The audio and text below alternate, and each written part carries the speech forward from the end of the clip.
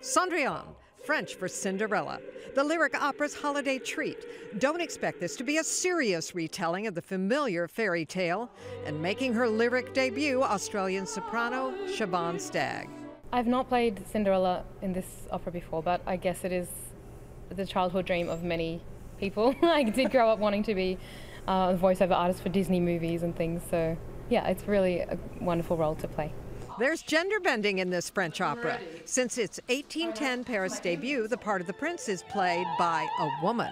It's also written, I think, for specifically in this opera because it's a soprano voice and a mezzo voice, which is just the slightly lower and the slightly higher voice. We sing together and we sing our big high climaxes together and we meld in these amazing duets. I think that's why it's written like this.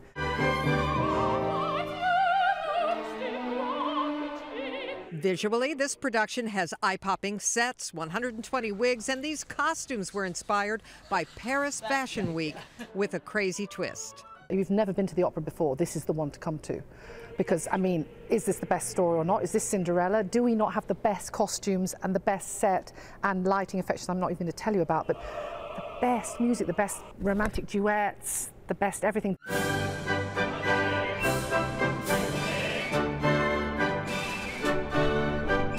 Cendrillon is at the Lyric through January 20th. And since it hasn't been seen in Chicago since 1911, you better hurry up and get a ticket because you don't want to wait another 107 years to see it. Janet Davies, ABC 7 Eyewitness News. Hey, if you like that video, be sure to subscribe to our ABC 7 Chicago YouTube channel.